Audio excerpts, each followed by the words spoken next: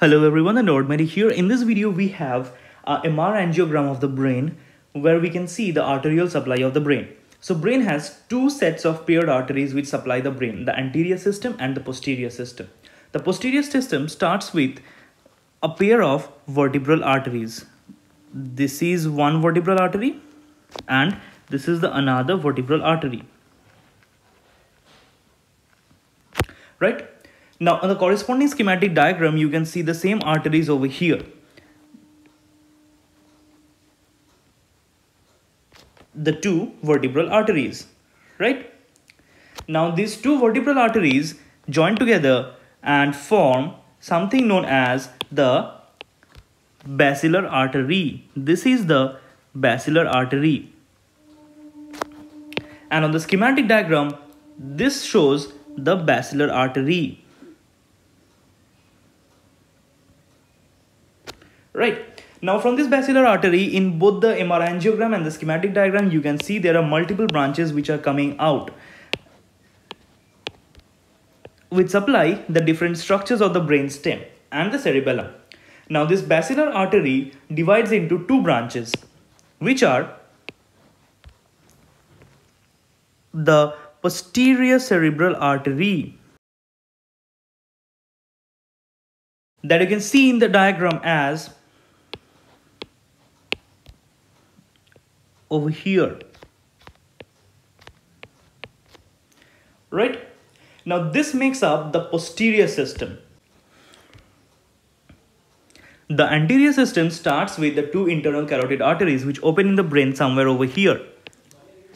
And this gives off the anterior cerebral artery that you can see over here.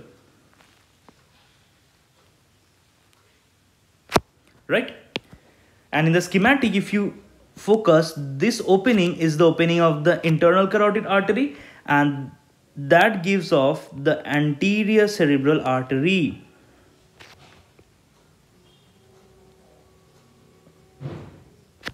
Right?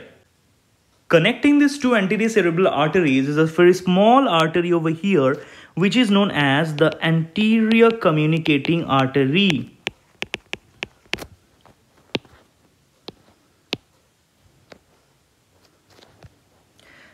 In the schematic diagram you can see it over here where I have marked with sky blue right? This internal carotid artery also gives off the middle cerebral artery.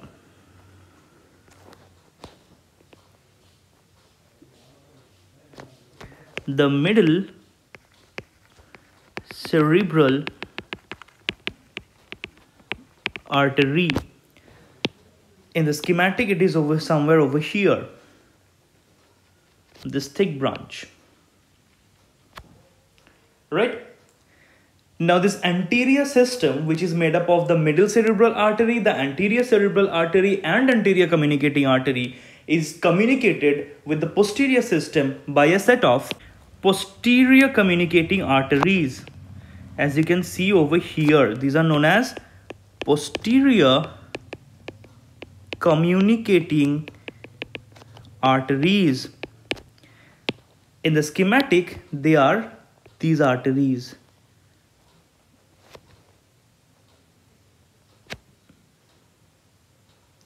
Now this entire thing makes up a circle. This circle at the center that you can see is known as the circle of Willis, right?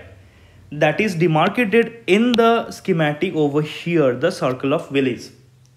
So this in brief gives the radiological anatomy of the arterial supply of the brain.